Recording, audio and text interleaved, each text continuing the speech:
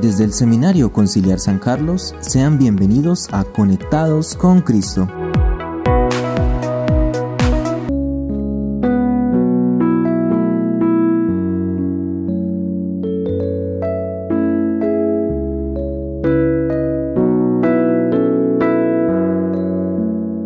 Un cordial saludo a todos los oyentes de Conectados con Cristo.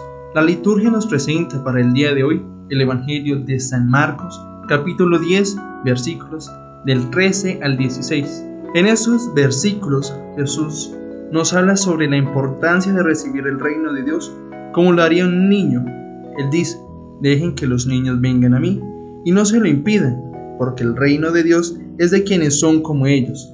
Les aseguro que el que no reciba el reino de Dios como un niño, nunca entrará en él.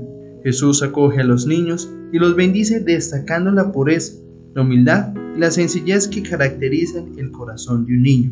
Jesús nos invita a acercarnos a Dios con la misma confianza y humildad que tienen los niños, recordándonos que el reino de Dios es para aquellos que se acercan a Él con corazones sencillos y llenos de fe.